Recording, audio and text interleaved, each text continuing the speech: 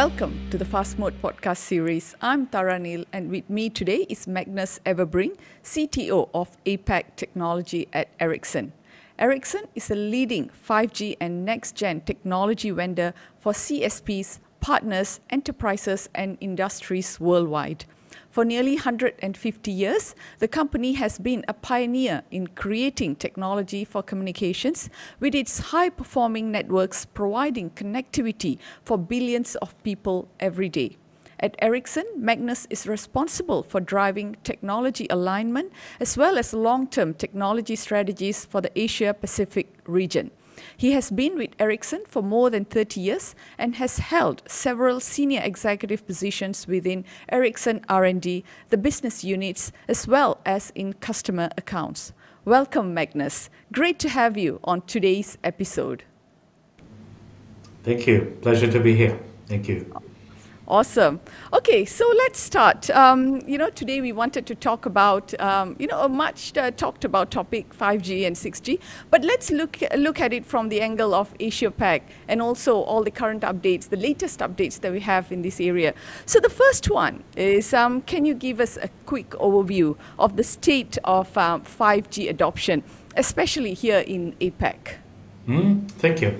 Well, I think um, APAC has a lot to be proud of. Many markets are doing very well in 5G. Some were out very early. Both uh, South Korea and China were out early and have deployed it very widely. India is really a good example.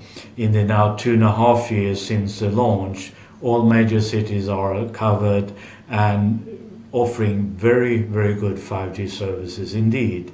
Mm-hmm. Um, and I think this is an international reference, the scale and the width of the rollout that's been done in India. Mm-hmm. I'm based in Singapore, and here from the very uh, start of 5G, um, the operators rolled out very quickly. Singtel were fast to go up on the so called 5G standalone, which is, I think, the correct way of running 5G so that you really can explore all its possibilities. And today, Singtel is one of the absolute foremost 5G operators in the world, having gone the most with business innovation based on the technology abilities that they've deployed in the field. One more example, perhaps, I think Malaysia is worthwhile uh, mentioning.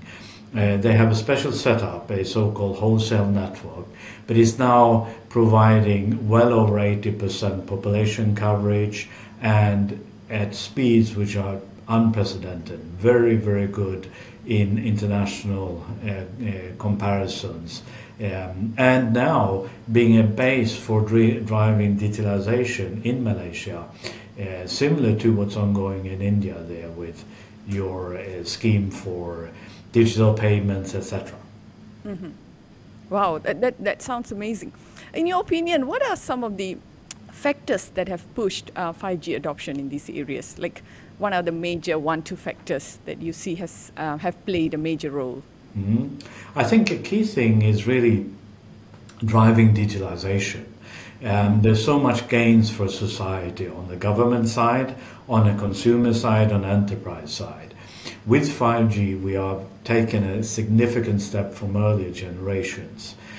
Earlier generations have been truly good in its lifetime, so yep. to say. Yeah. But with 5G now, we're taking a step beyond that. And I think we're, in terms of the marketplace, we're also making it able to be suitable for truly for enterprises, for government functions. A key, key fundamental part here is that the system can offer, offer uh, differentiated services. So typically when you do internet browsing, you have what we call best effort. You get what you get, so to say. And when you, as a private person, browse on the internet, download a web page, that's often good enough, so to say. But let's say you control a car being partially autonomous, partially assisted from the network, and it's driving on a public road. That won't pass. Then you need to have a predictable performance. And that service needs to be in some ways guaranteed. The good thing with 5G is it can offer these services. And that will be a benefit for many things. Remotely controlled car maybe is one thing, um, but it's also for benefit for consumers. Let's say you, you have a, a, a gaming experience and you want to have a very snappy control when you do this. Well, this network is possible to do that, given that you and the operator agree on the commercial terms for it. But that's on the business innovation side. Key thing here is that the network supports this kind of offerings to the market, and that's now starting to happen in 5G. And I think we have many good companies here in Asia that can start to leverage on this very early. Mm-hmm.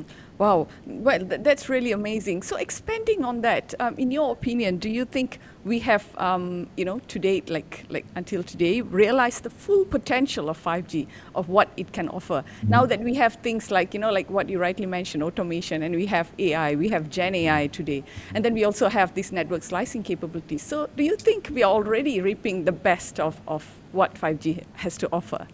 5G has a lot more to offer, a lot more at the early of this, uh, early this year, um, we had some uh, 22% penetration of 5G subscriptions. So the vast majority of subscribers are still not on 5G, and it will take many years. We believe at Ericsson in 2027, um, to, um, 5G will become the dominant technology and um, then it's the biggest one, but it will be the biggest one for a good number of years.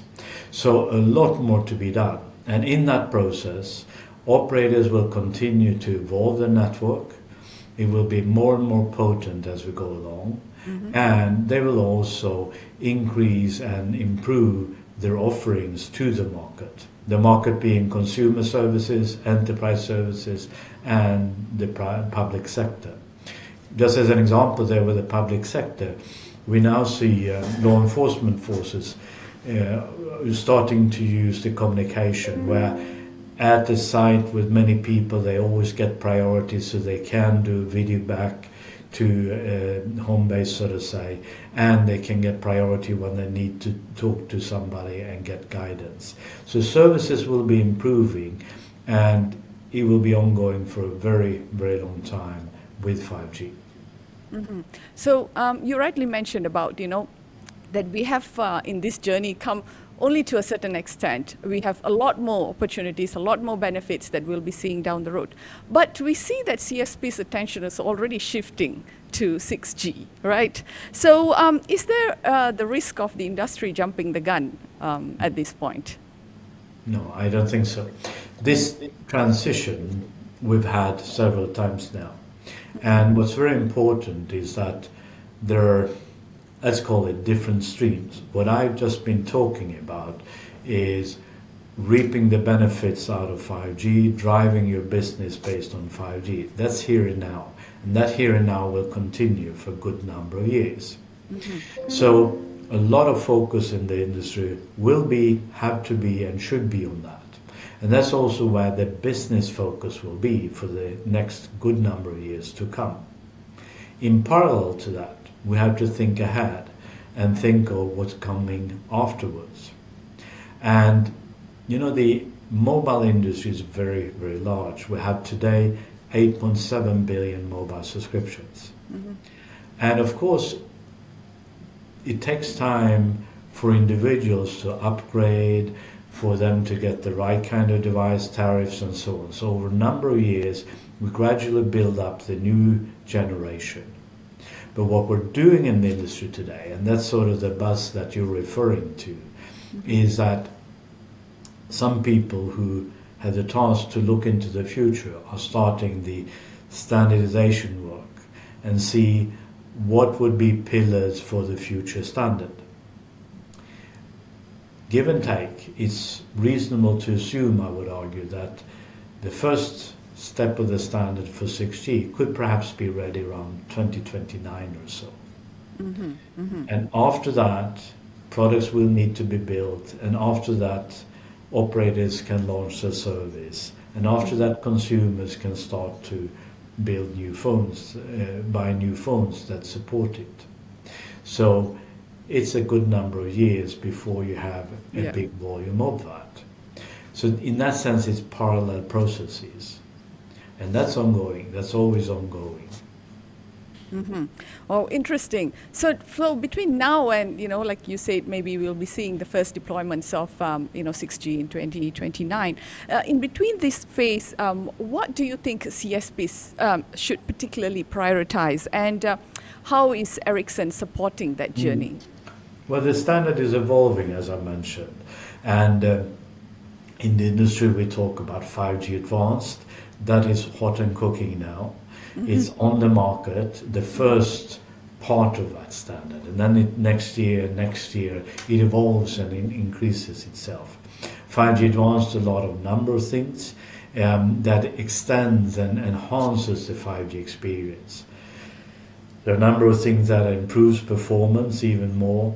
Um, we also have support for what we call Internet of Things devices, IoT devices, yep which for instance are used in wearables. The 5G standard there is called RedCap, and that is now on the market, and we even see the first watches coming out that are RedCap assisted. Mm-hmm. Having that support, you can get better experience and new services, etc. So step by step, 5G Advanced is coming into our homes. For the common man, maybe it's not well known that it mm-hmm.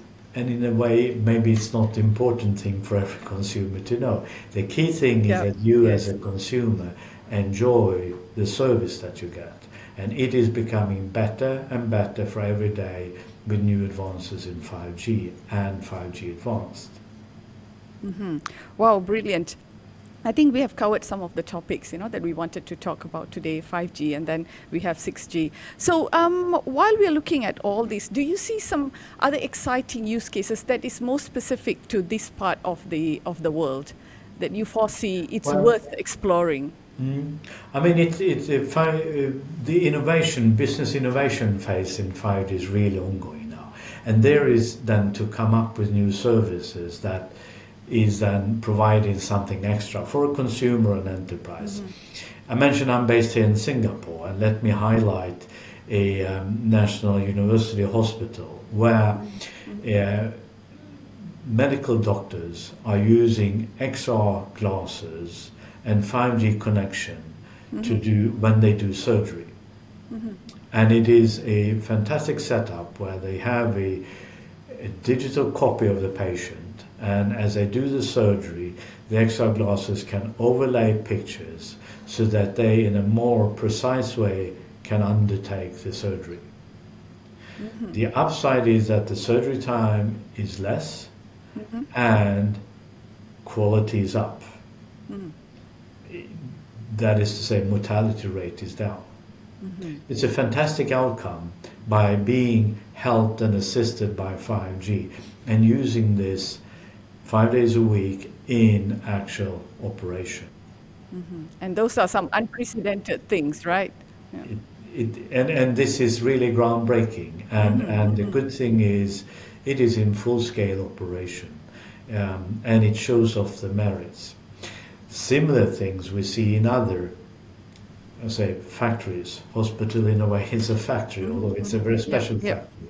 Mm-hmm. Um, we had a conference here in Singapore last week, and I we had a session with enterprise, and um, I listened in to um, um, a representative from Hyundai that is using 5G in the factory here in Singapore, and there again they report similar gains by increasing quality, by increasing efficiency, making sure that they are digitalized and connected.